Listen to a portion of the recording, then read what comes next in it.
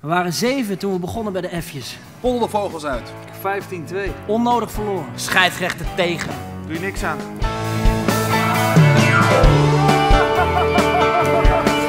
Je had hem gewoon klem, die bal. Ja, nou ja, dit is een reflex. Hey, Peter is ook gewoon Swift Boys achter. Er was een donder, een bliksem. Afgelast. Ah, homo. Ja, geel. Oh, geel. Bij een afgelaste wedstrijd. Jullie krijgen een spits. Altijd je zo. Of je nou weet. Voetbal, wat voor zin heeft het? Verzin heeft het. Wij voetballen om. Wij, voet, wij voetballen. Wij, wij voetballen. Ja, ja.